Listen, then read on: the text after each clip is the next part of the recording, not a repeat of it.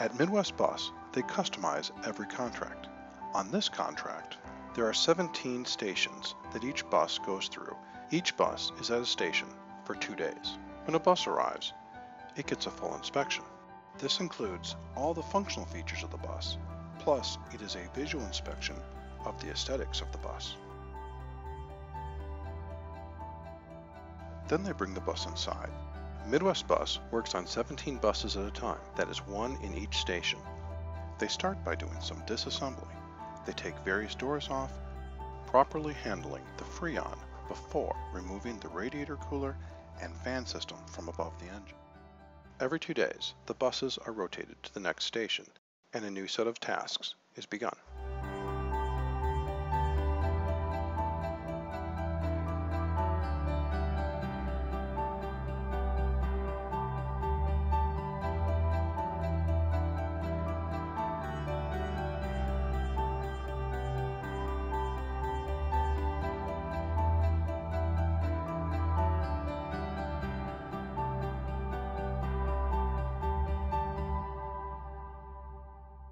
Second station the bus goes to is the power wash area. They lift the bus up and remove the fluids.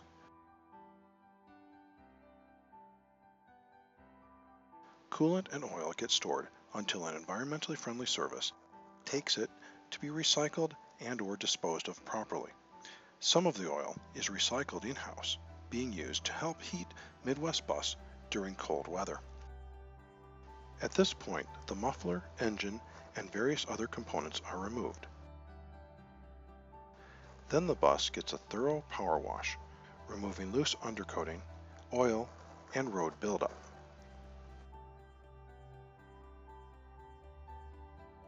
From there, they bring the bus into the north side of the building and begin their major processing. There they do what they call final disassembly. They take the front and rear axle assemblies out of the bus. Also, air tanks and other underbody components are removed. Next, they fix any structural issues, including reinforcing weak areas and redesigning areas that were not designed well originally.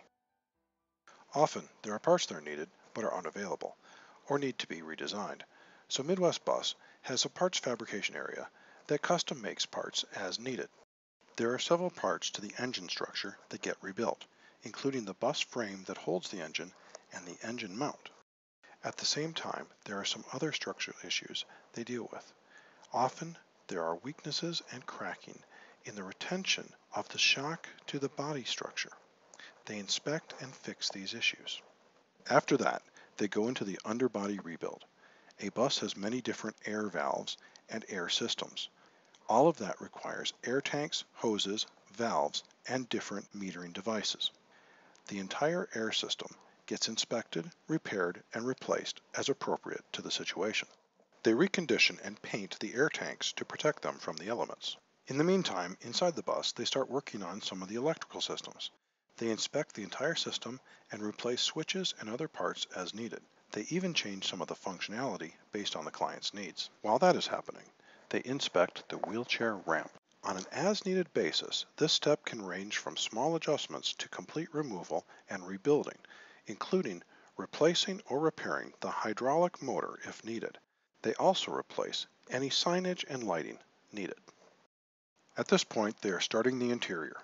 The flooring is sometimes 100% replaced, and other times it is replaced as needed based on the incoming inspection. Some of the non-slip surface goes in, then the seats and the handrails are attached. As the finishing touches are applied, this old bus is beginning to look brand new. While all that is going on, the front and rear axle that have been removed are getting a complete overhaul. They are taken into a sub-assembly area where they are disassembled, cleaned, and rebuilt. As you can see, the brakes are rebuilt at this time. The engine has been disassembled and sent out to a factory authorized rebuilder. It is reassembled when it returns. Once the engine is reassembled and fully rebuilt, it is reinstalled into the bus.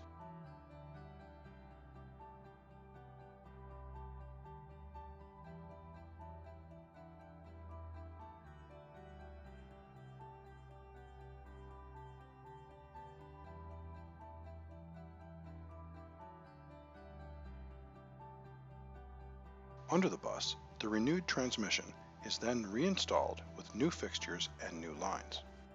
Now that the engine is back in place, it is time to do the installation of the front and rear axle assembly.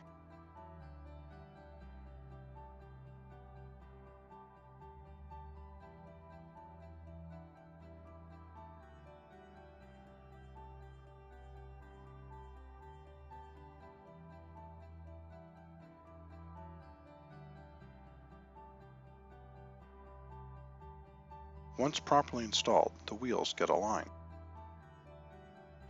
The cooling system that was taken out in the beginning of the bus remanufacturing process has received a complete overhaul in a Midwest bus subassembly area.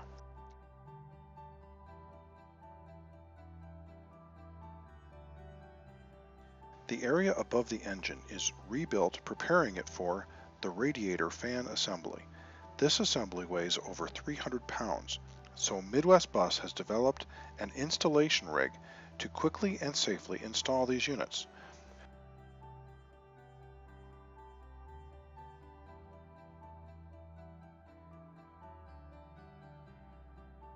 Once the radiator system is in, the rest of the remanufactured air conditioning is installed.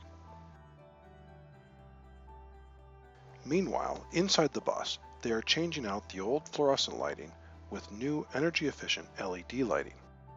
Back outside the bus, they are tying together all the electrical systems, installing and testing all modifications and functions to prepare the bus to be restarted.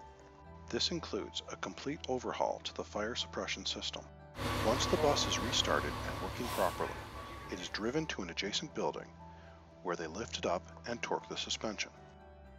The next step is to prepare the exterior of the bus for paint this step is a lot of sanding.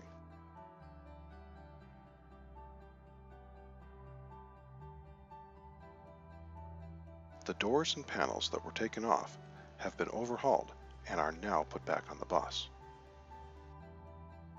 From there, the next step is going into one of Midwest Bus's three paint booths. There they tape and mask, do more sanding, and wipe it down before applying primer, primer surfacer, and up to five different colors of paint. They run two work shifts, and it takes two shifts, two days, to paint a bus. Then they bring the bus back to the south side of the factory. They put on the fenders, then sand and paint the roof with no-slip paint. At this point, the exterior assembly is in full swing. The door and window glass that had been taken out is now reinstalled in the reconditioned and repainted doors and windows. On an as-needed basis, the windshields are replaced.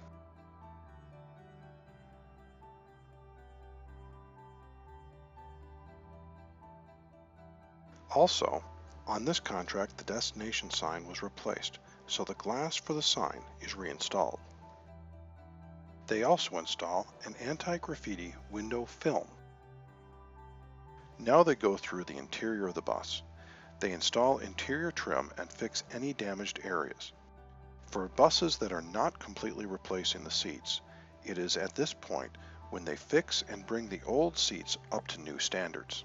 They flush and charge the remanufactured air conditioning system with updated Freon, then thoroughly test the system to make sure the passengers have a cool ride. Outside the bus, they are putting on the bumpers and all the various trim.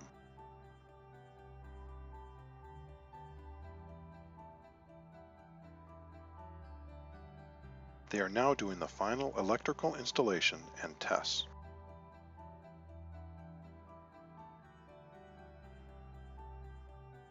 One of the final steps is the bus is fully inspected and any deficiencies found are listed and fixed in final repairs. The final step is called the final buy-off. The client's representative inspects and approves the fully remanufactured bus before it leaves Midwest Bus.